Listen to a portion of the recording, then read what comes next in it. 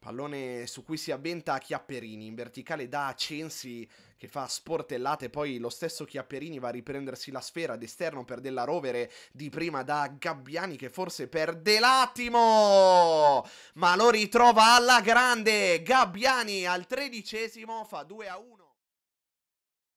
Lascia scorrere della Rovere, fa bene, entra in area di rigore della Rovere, palla in mezzo, c'è Casali che deve solo appoggiare il pallone in rete per l'1-0 della Cremonese.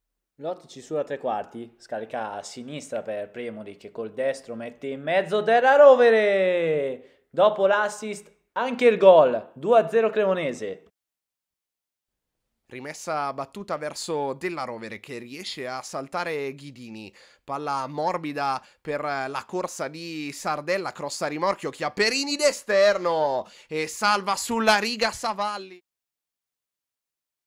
Pallone schizza verso Della Rovere che parte palla al piede, inseguito proprio dal 16, viene sgambettato, calcio di rigore allontanato dall'Atalanta, viene intercettato e rispedito in avanti. Stop e palleggio di Della Rovere che prova da lontanissimo e prende la base del palo sfiorando l'Eurogol.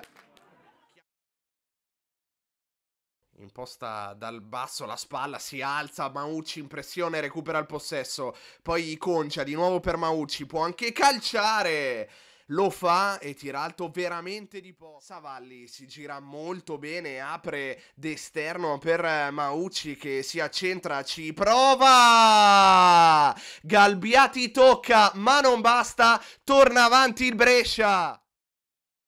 La offre a Maucci.